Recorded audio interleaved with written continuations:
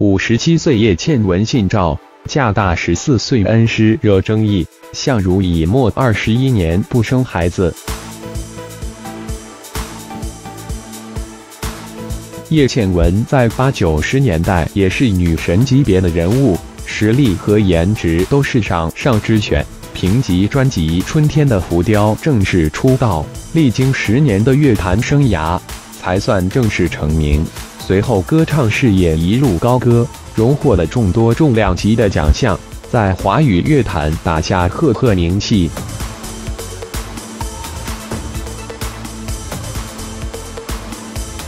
后来与周润发合作《大丈夫日记》，剧中饰演周润发的最爱的人。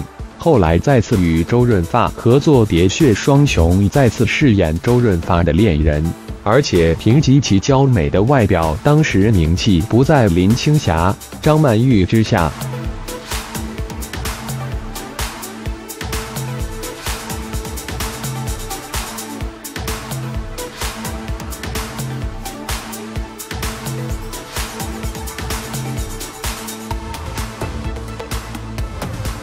深受徐克的喜爱，当时的娱乐圈扎戏成风，可是他却宁愿死也不扎戏。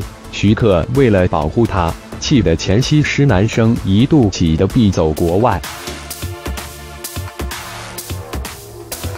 再次转战歌坛的时候，有深的音乐鬼才黄沾的惜才，所以不管是乐坛还是影视圈。叶倩文都是影响力很大，恐怕成龙让房祖名认其为前妈也有这方面的考虑吧。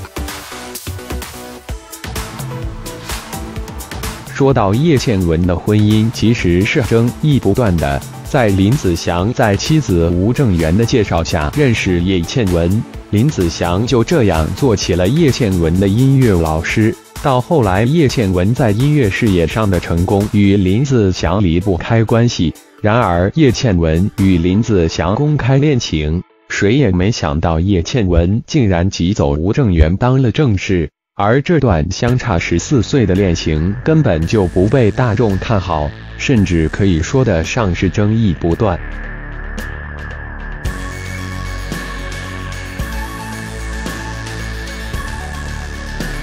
叶倩文和林子祥一晃也相濡以沫了二十一年，当年两人是多么的不被看好，但是他们用实际行动告诉大家，他们是多么多幸福住。林子祥与前妻有一个儿子，与叶倩文结婚至今不生孩子，如今儿子都已经成家立业了，两人最爱做的事情就是带孙女。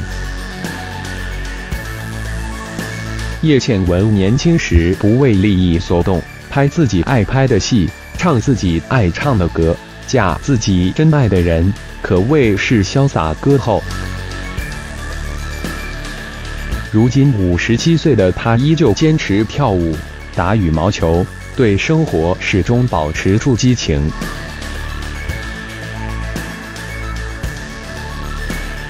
对待家庭，她照顾母亲，包容丈夫。关爱妻子，一直坚守住自己的责任。参考来源。